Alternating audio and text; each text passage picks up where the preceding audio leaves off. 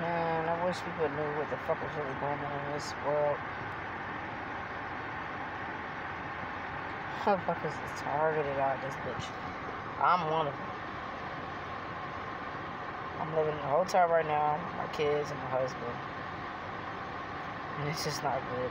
Nothing's good for me right now. At all.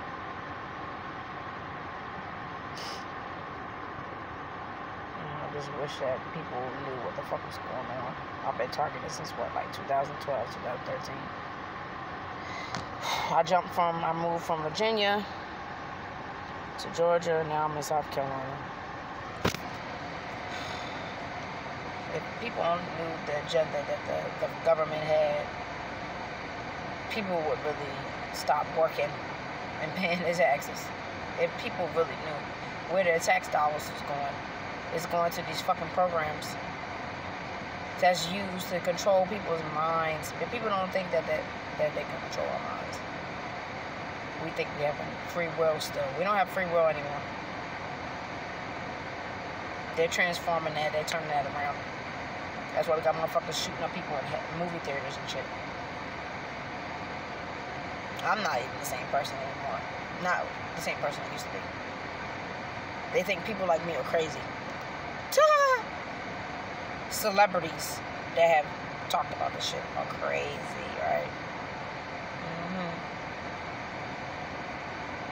Activists, reporters, scientists, government officials, ex military officials that are targeted, that they're talking about it, and they're all crazy, right?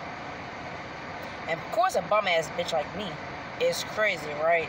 You know, when shit hits the fan, motherfuckers is gonna see the people like me, entertainers, people that are rich and poor, it doesn't matter. People that got a high status or don't have a high status. People gonna see in the end that none of that matters. Because they're trying to control. They're trying to get population control, I'm sorry. They're trying to gain population control. The media, the television, the radio, social media is all used to brainwash us so they can have control over our minds. But we don't realize it because we're too far gone. There's been plenty of great people, great men and women that's tried to stand up against this shit. And they all died. Some of them died, some of them was thrown in jail, some of them were discredited.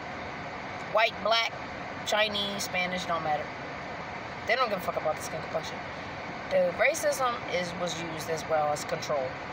So was religion used to control.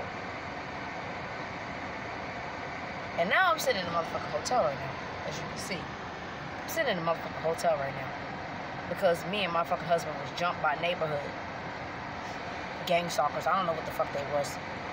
These ignorant ass black people that we would jump by. Previously, when we lived in Georgia, we were harassed. I was harassed.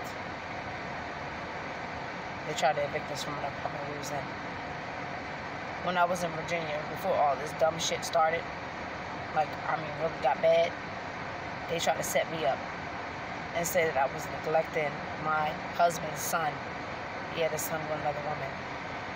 Tried to say I neglected him and left him in the car. Child neglect and shit. Tried to get me with a child neglect charge, and that's why I ended up living in Virginia. But before that, I had FBI surveillance of me in my fucking apartment complex.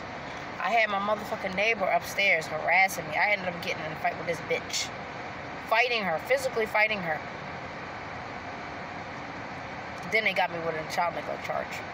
Cops was following me. They they they suspended my driver's license, said I owe IRS taxes. They just hit me with a bam, bam, bam, left to right. Next thing you know, I'm jobless. I don't got no car no more. And now me and my husband and my kids are homeless. That's what their agenda is, to make people homeless. Then they got motherfuckers watching you. Everywhere you go, motherfuckers following you and watching you. The cops were just over here earlier. Right over here in that white building over there. Where those trees are. Fucking cops was over there this morning. Everywhere I go. Right before we left Georgia, motherfucking cops pulled us over. For nothing. Not because I didn't have my seatbelt on, nothing, nothing. Just pulled me over For nothing. To interrogate me and my husband. A lot of things happened to me in these past three years that I can't even I can't even like fathom it. Like this shit has really created some type of brain disorder in my head. But that's the whole objective. That's what they want to do. Here come my husband now. Look at my baby. Me and him always getting into it because they're using mind control shit on me and him, so that so that um me and him will fight. And then next thing you know, somebody in jail. He ended up in jail last year because there's all this shit, all this fight we're doing.